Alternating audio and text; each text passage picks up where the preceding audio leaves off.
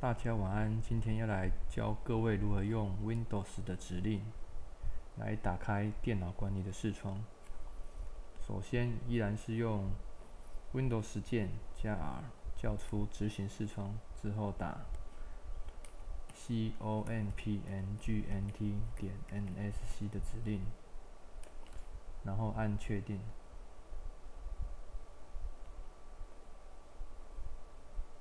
就会跑出电脑管理的视窗出来，里面有系统工具、存放装置跟服务与应用程式。其中，呃，里面比较有用的是装置管理员。在装置管理员里面可以看到我们经常使用到的一些装置。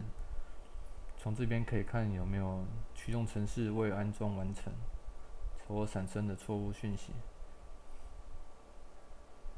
在在磁碟管理里面的话，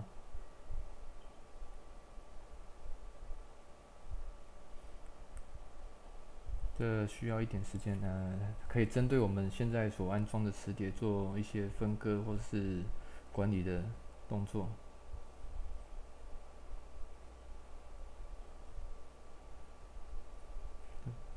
目前可以，大家可以来试看看哦。